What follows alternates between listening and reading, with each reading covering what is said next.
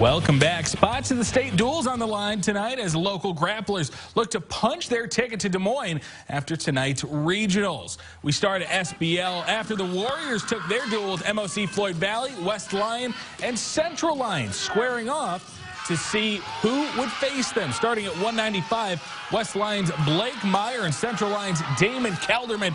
Third period, Meyer, the takedown. He gets a 6-5 win. Wildcats trailing 18 to 13. 220 we go. West Lyon's Easton Fleshman, Central Lyon's Dylan Winkle. Winkle scoring a pair here, and they were important. He wins on decision. 4-2, three more Lion points. Set heavyweight now, Central Lyon's Jarrett Meyer, West Lyon's Jordan Veer, Vermeer. Meyer, the reversal here. He takes a pair. He wins in an 11 to 5 decision. Lions advance 28 to 26. So now we move on to the championship round. Central Lyon and the host team SBL starting at 145.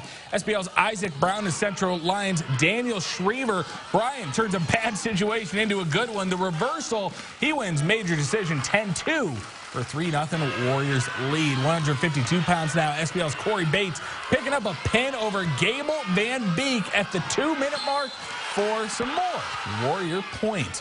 160 pounds, SBL's Matthew Headed in the third period has Dylan Van Berkom locked up for a pin.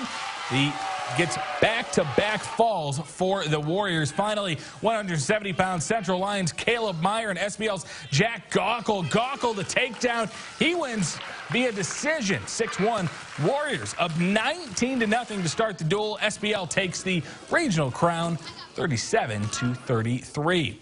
Down at 1A, West Sioux taking on Western Christian. Wolfpack starting off hot, 220. Eli Van Ginkel taking on Kyler Bach. Van Ginkel gets the fall. Western Christian up six. Then the heavyweights, Levi Vandenbos getting another fall for the Wolfpack, pinning Jose Hernandez, making it 12 zip. But West Sioux turning it on from there. 126 pounds defending champ Adam Allard pins his opponent in just 11 seconds. Took me longer to read the highlight. The falls continue for West Sioux. 152 pounds. Seth Salker pins Elliot Carney. That's win number 100 in his career. Finally, Yahir Tapetti would finish off a Falcon run at 195, getting a three-point near fall. Tapetti goes on to win by decision. The Falcons win the dual 57 to 24. On the other mat in Hawarden, Westwood taking on MNW, starting at 220 pounds. Carson Peterson and Eddie Dandurand. Peterson gets a reversal for a pair. He goes on to win. Cougars taking the lead. Down at 126 pounds, Carson Collins and Jaden Lehman. Collins gonna work his way into control. That'll get him a pair. He wins by tech fall to extend his team's lead. 132 pounds, Daniel Tama and Derek Gilbert Tama continues the MNW dominance with the big reversal there. He wins by fall a little later on. 152 now, Hunter Hanner of Westwood, Ian Conan of MNW. that is a painful takedown. He gets the takedown and a few points back for the Rebels, but it's just not enough. Cougars going to win 50 to 27.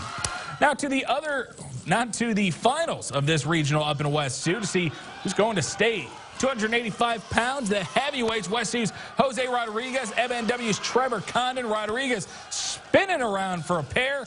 And he avenges his earlier loss with a win here.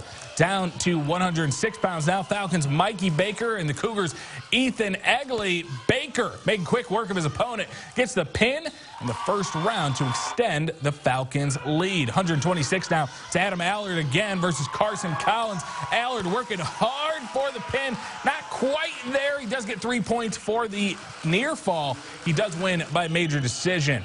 And at 132 pounds, Cullen Kodum taking on Daniel Toma. Kodum working for a pin again, cannot quite get it but he still takes the match. That's what's important. West Sioux rolling into the state tourney, 45-25 the victory. Finally, over in Avoca, Woodbury Central claims a regional crown by one point in 1A, holding off AH, AHSTW on the final match of the dual. Nothing more exciting